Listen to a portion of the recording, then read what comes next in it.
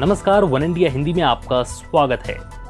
अपने रेडियो कार्यक्रम मन की बात के ज़रिए पीएम मोदी ने देश को संबोधित किया। इस दौरान पीएम मोदी ने कहा कि पूरे देश में सितंबर महीने को न्यूट्रिशन मंथ, यानी कि पोषण माह के रूप में मनाया जाएगा। पीएम मोदी ने कहा कि नेशन और न्यूट्रिशन का बहुत गहरा संबंध होता है। हमारे यहाँ एक कहावत है, यथा अन्नम तथा मन्नम।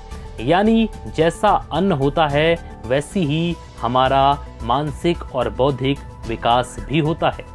इसलिए इस विषय पर ध्यान देना बहुत ज़रूरी है।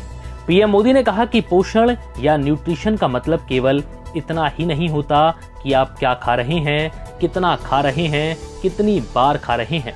इसका मतलब है आपके शरीर को कितने ज़रूरी पोषक तत्व मिल रहे हैं।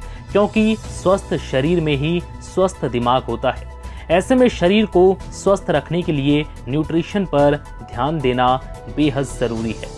पीएम मोदी ने बताया कि विशेषज्ञ कहते हैं कि शिशु को गर्भ में और बचपन में जितना अच्छा पोषण मिलता है, उतना ही अच्छा उसका मानसिक विकास होता है और वो स्वस्थ रहता है।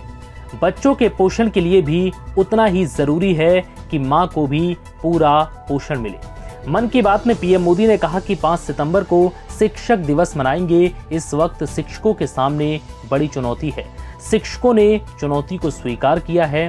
पीएम मोदी ने कहा कि भारतीयों के इनोवेशन और सॉल्यूशन देने की क्षमता का लोहा हर कोई मानता है। और जब समर्पण भाव हो, संवेदना हो तो ये शक्ति असीम बन जाती है। हमारे यहाँ के बच्चे, हमारे विद्यार्थी अपनी पूरी क्षमता दिखा पाए अपना सामर्थ्य दिखा पाए, इसमें बहुत बड़ी भूमिका पोषण की भी होती है। इसलिए इस पर ध्यान देना बेहद ज़रूरी है।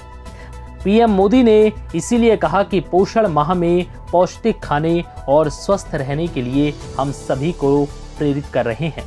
फ़िलहाल इस वीडियो में इतना ही। नमस्कार।